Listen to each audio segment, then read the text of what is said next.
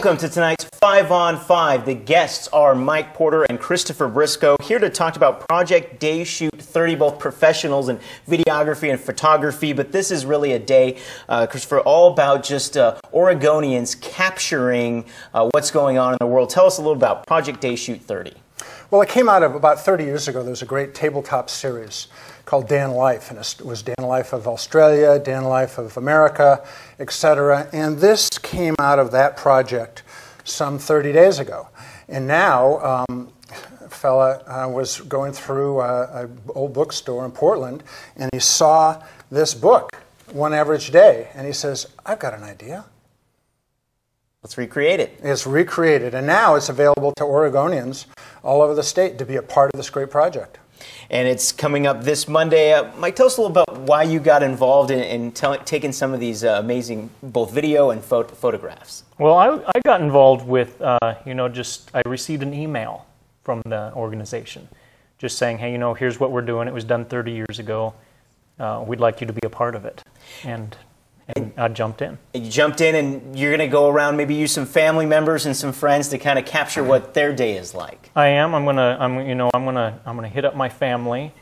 I'm going to uh, hit up friends. You know. I've. I've got uh, a wide variety of friends. You know, from uh, from ER doctors down to sewage pumpers. I'm gonna. You know, do a day in the life of them. I'm going to. Uh, you know, just go around and get some candid shots just kind of be involved with what's going on in the day. And Christopher, you do this on a daily basis. I'm sure you've captured uh, hundreds of thousands of images of Oregon and Oregonians kind of in their element. But what about you? This gets uh, about this for you is exciting and taking on this uh, this project this day.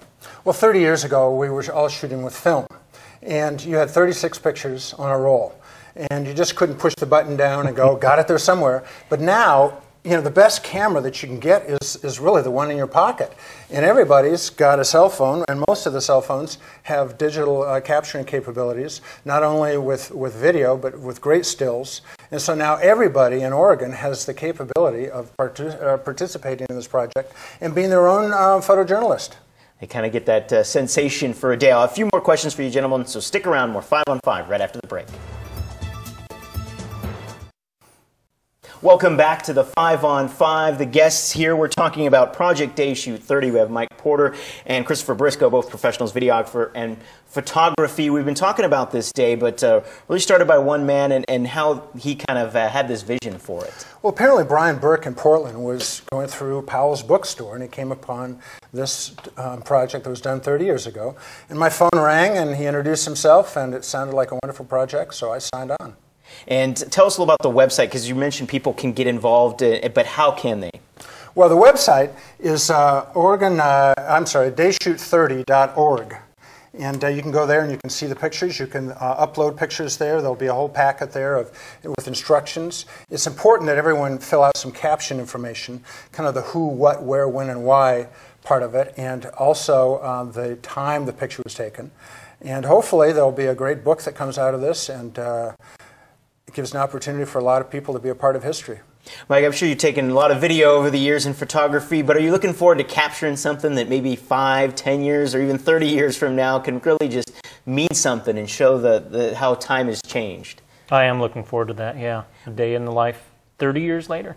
Have, is there any photograph that comes to mind from way back when that maybe kind of goes, oh, that's interesting. I remember that one. Have you, have you looked at any lately that uh, might ring a bell? No. no. Are you looking forward to taking one now this Monday yes, that yes. Uh, maybe someone else will look at down the line? How about you? Is there uh, you've taken so many, but something that really well, the person, the most personal part of what I do is documenting my son Quincy's life of 19 years. He's probably the most photographed kid on the planet.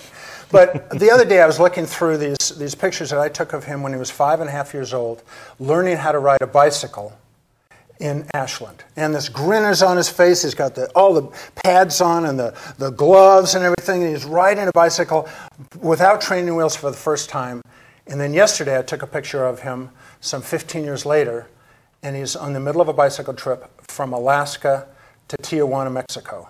And he has the same grin on his face. and if you want more about that story, you can go to our website. We covered that uh, last week, what an amazing trip that is. But it also shows you, as you mentioned, what these photographs, how they can document time, people. And in Monday, it's everyone's chance to really show that for their family, for their communities, what it's like uh, here in Oregon. So it's an exciting time. Best of luck to both of you gentlemen. Take some great photographs, as I know you will, and we're looking forward to seeing them. Great. Thanks for having me on. All right, that's it for the Five on Five. More news right after the break.